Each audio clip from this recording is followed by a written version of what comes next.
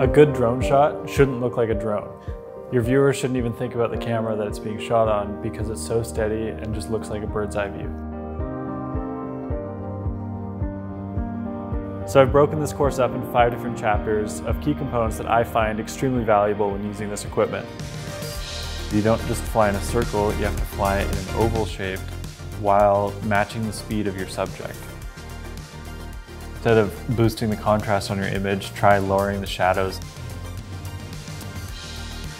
It's just so exciting when you're able to shoot something completely new from the air.